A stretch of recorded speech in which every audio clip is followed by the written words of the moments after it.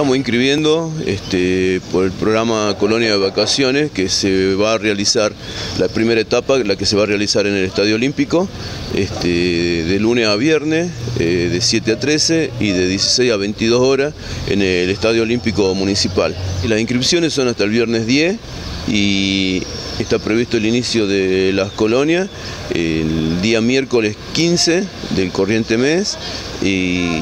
y bueno, eh, la particularidad que tiene es que de acuerdo a la demanda este, se van a conformar turnos tanto al turno mañana de 9 a 12 y como turnos al turno tarde de 15 a 18 horas. Yo hablaba de etapa 1 de colonia de vacaciones porque estas se van a realizar,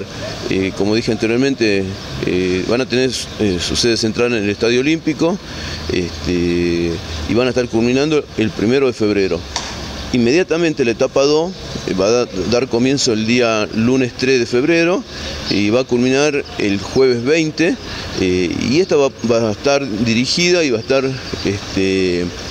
realizada este, directamente en cada uno de los 8 o 10 barrios eh, que hemos ya preseleccionado eh, y que bueno, y que en la realidad social de Palpalá demanda este, de que podamos tener presencia con estas actividades de colonia de vacaciones en estos barrios. Eh, y digamos, a diferenciación de otros años que, no, se implementó, este, una función de cine semanal para todos los chicos que participan en las diferentes colonias de vacaciones y a la vez se va a ser extensivo a